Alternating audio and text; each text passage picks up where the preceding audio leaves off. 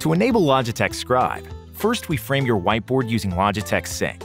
Then, we set up Scribe with your desktop video conferencing application.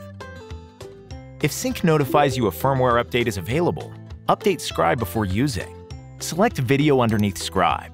Click Edit Boundaries. Scribe will automatically calibrate to the frame of your whiteboard. If manual framing is needed, drag the circles to the corners of the whiteboard. If not, leave the circles where they are. Click the Confirm button. This is the enhanced view you'll see each time you use Scribe.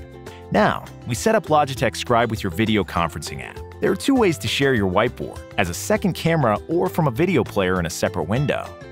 First, check if your service allows you to share content as a second camera. Look under the Share Screen setting and select the second camera option. Follow your usual steps to share content.